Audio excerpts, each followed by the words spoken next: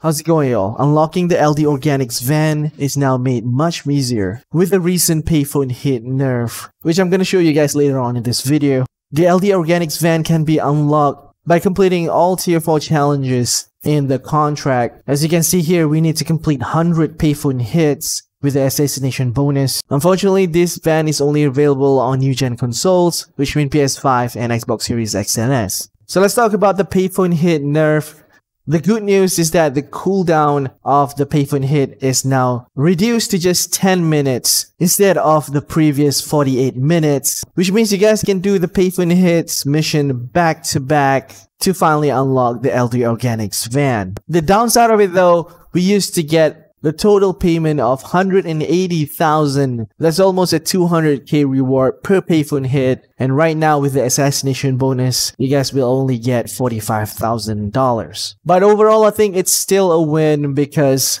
if you do 5 payphone hits within 1 hour, you'll still earn around 220,000, which is similar to the pre-nerf. It's just you have to do more work this time.